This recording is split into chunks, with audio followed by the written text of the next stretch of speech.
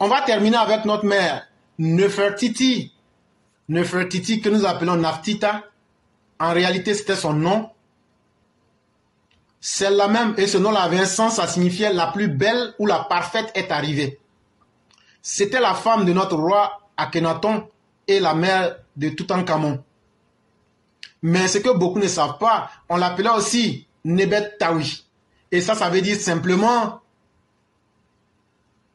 la femme des deux terres. Vous savez qu'on dit que l'homme est fait des terres. Et là, c'était pour simplement signifier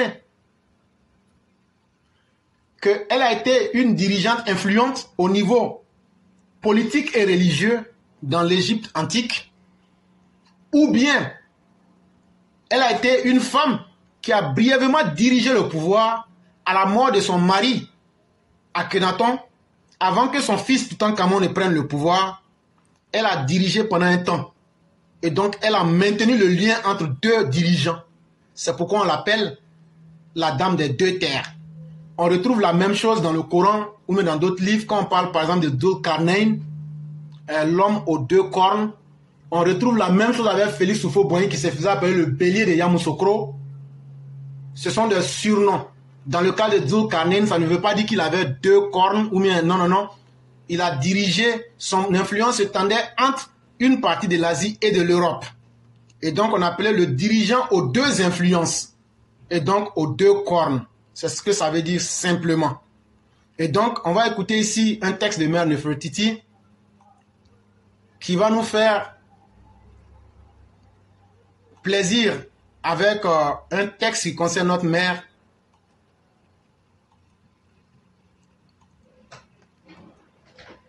Dominique Ouattara.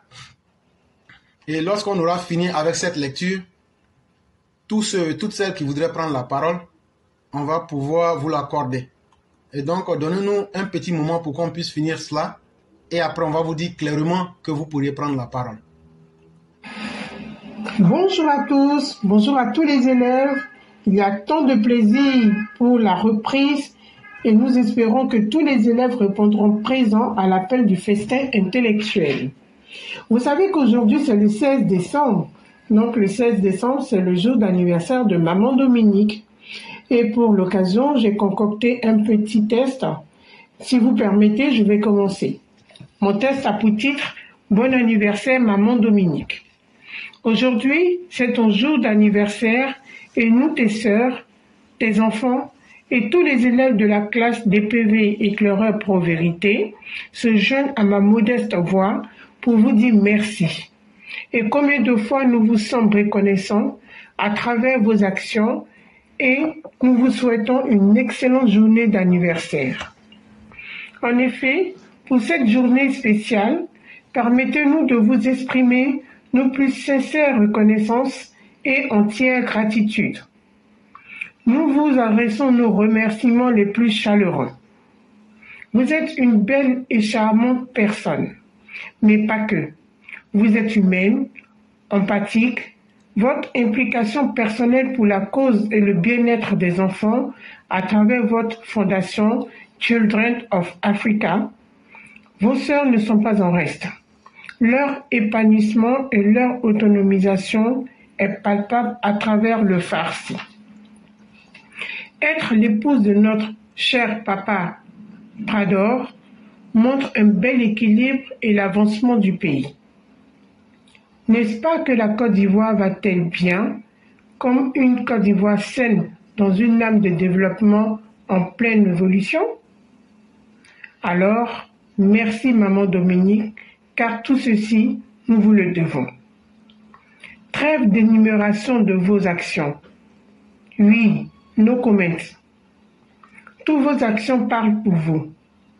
Que Dieu continue de mettre sa main sur vous dans la santé, la longévité et de vous permettre de continuer vos actions en faveur des enfants ivoiriens, de vos sœurs et pour tous les Ivoiriens tout simplement. Bon anniversaire, maman Dominique, dans la santé, la longévité et la paix du cœur. Merci. Aimons-nous vivants, vive les EPV, vive le Prador, vive la Côte d'Ivoire sous la protection divine. Merci et à bientôt, Mère Nefertiti. Bon week-end. Vraiment, nous disons merci à Mère Neftita. Merci à tous les EPV, mais surtout merci à toutes nos mères. Et surtout, on attend des chansons, hein. Happy Birthday to you.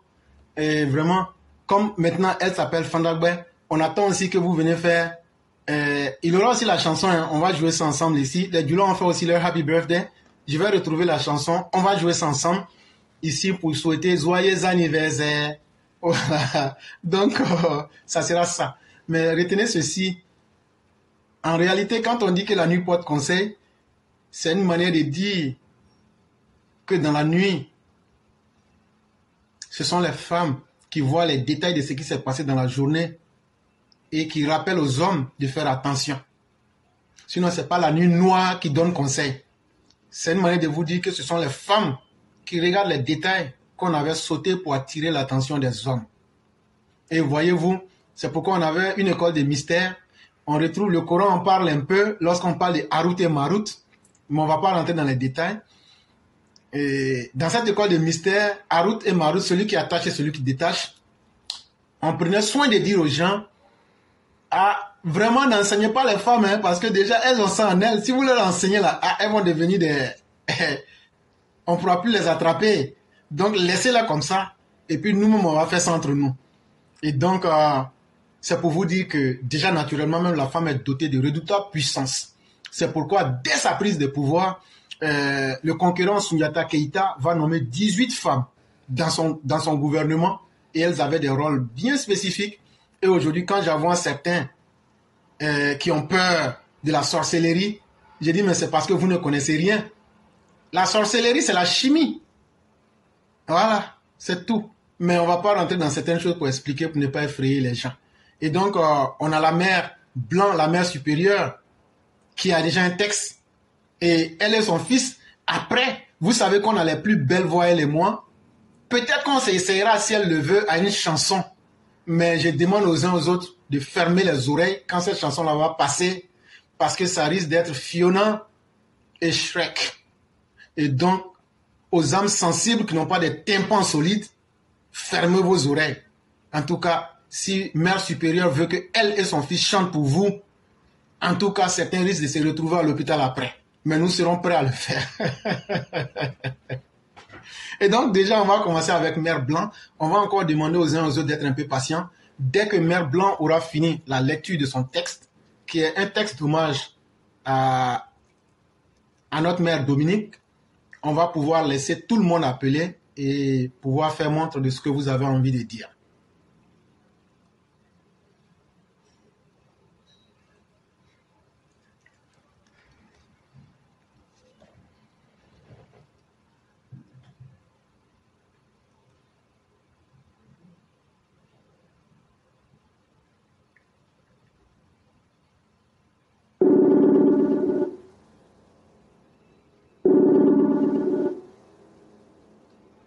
Allô?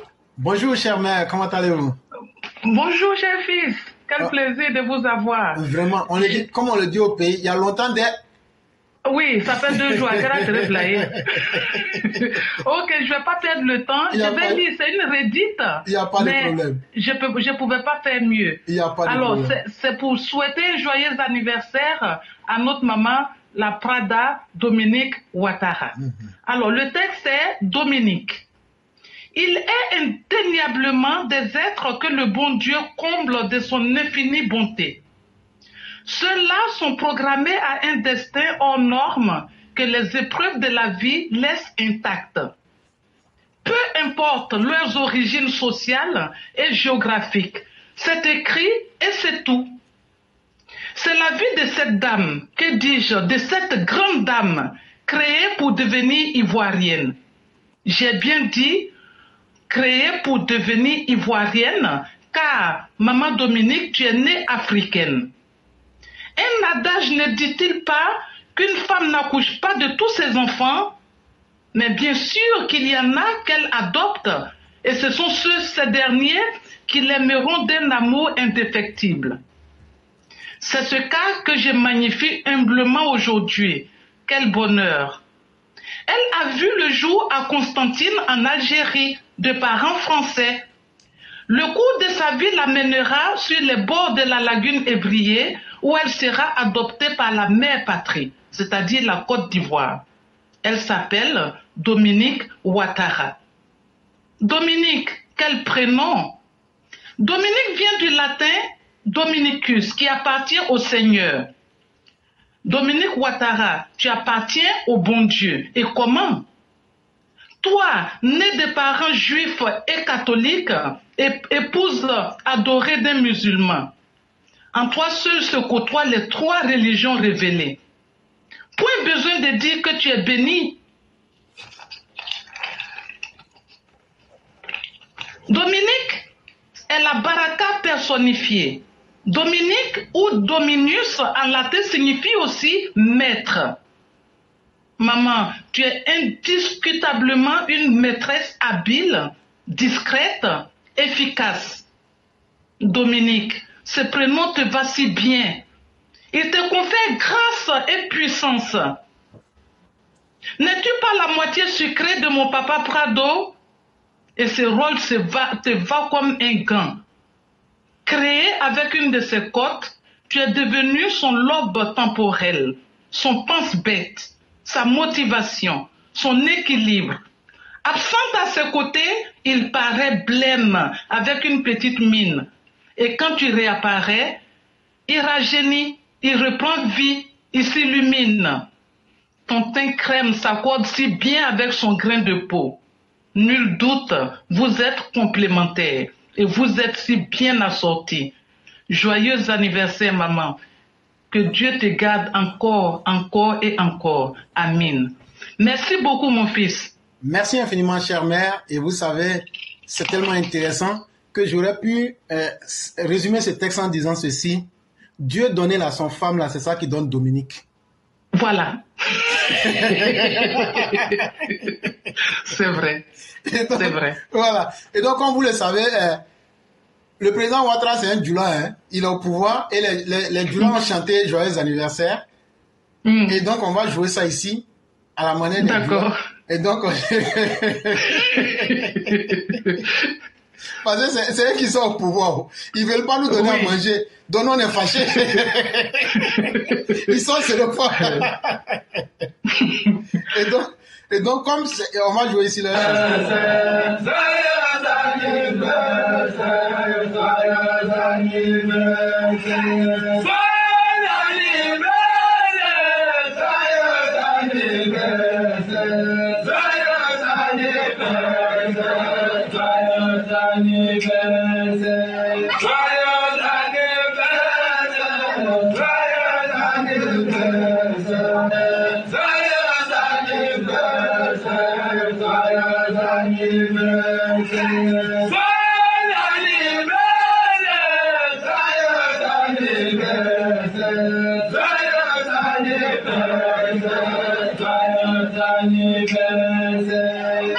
Et donc ça, c'était pour Mère Dominique. Et vraiment, merci, Oui. merci infiniment, chère mère. Merci beaucoup, merci beaucoup, cher fils.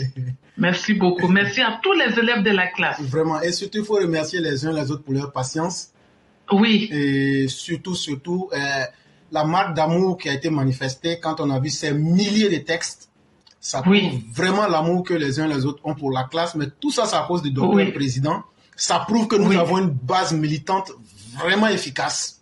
Et on peut, Oui, le- on peut tester, on peut tester cela déjà à partir d'ici pour mettre le président en confiance. Nous ne sommes pas euh, dans des vues d'esprit, nous sommes dans la réalité pratique. Et vraiment, nous disons merci à tous ceux qui nous font confiance. C'est d'abord une confiance euh, faite au président de la République et cela nous va directement au cœur. Mais mon fils, c'est pas la manifestation de l'amour que, que nous avons les uns pour les autres. C'est pas que pour le Prado. C'est vrai que la- le Prado a la grosse part qu'on lui attribue, mais vous avez pu le constater aussi par, euh, au- à l'occasion de la remise du trophée à notre euh, heureux euh, ré- récipiendaire, Le cyclone. le cyclone 1000. Ah, c'était que de l'amour, une profusion d'amour. Ça, je peux vous le, le dire. Effectivement. Ok. Merci beaucoup. Il y a pas de Oui. Et là, je disais comme ça que euh, la seule fausse note a été qu'il y avait une voleuse de coupe Oui. Voilà, bien. Oui. Et bon, les parents, je vais expliquer. Ça, elle a quitté. J'ai vu la photo, j'ai dit, mais attends, c'est... Moi, euh, moi, je vais expliquer aux gens simplement parce que nous, nous sommes des villageois, il faut expliquer les choses simples. Elle vit dans un campement en France. Oui. Elle est venue en ville. Elle est venue, on dit, a coupe, on donne aux gens. Elle dit c'est qui? On dit cyclo. Elle prend coupe là, elle veut partir avec ça. Les gens lui ont Oui. arraché la coupe là. Et donc c'est dans ça, ils ont pris une photo. Et maintenant, elle dit forcément elle va partir la coupe des gens. Il dit c'est pas comme ça on fait. donc finalement, on a pu sécuriser la coupe. Et là, on était là encore, il y a Walter qui dit que lui va, lui va aller gâter le coin en cassant la coupe. Mais il dit mais comment quelqu'un peut être un sorcier jusqu'à ce point-là? Ouais. et donc, c'est pour dire vraiment bravo à Cyclone. Bravo, c'est une reconnaissance euh, totalement méritée. Le Cyclone qui apporte beaucoup. Mais la coupe n'est pas à Cyclone seul. Hein, parce que moi, Oui. je le dis, l'année prochaine, si moi, je n'ai pas la coupe là, moi, je rentre dans PPAC. Voilà. D'accord.